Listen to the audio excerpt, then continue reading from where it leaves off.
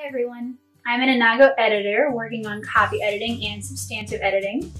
I hold a degree in English language and literature with extra areas of study in philosophy and creative writing. During my time in university, I worked on an extensive project analyzing illustrations in The Wide Wide World, a popular 19th century novel. After completing that project, I published a gallery of my findings on the online archive and presented those findings at a conference at Stanford University. In addition to that publication, I've also published several nonfiction and fiction stories and poems.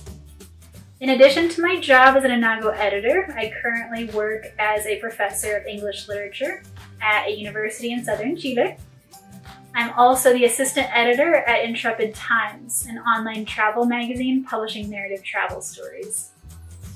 In addition to my daily work at Intrepid Times editing the narrative travel stories, I've also recently co-edited an anthology of travel stories with the site's editor, which will be published in July of 2020.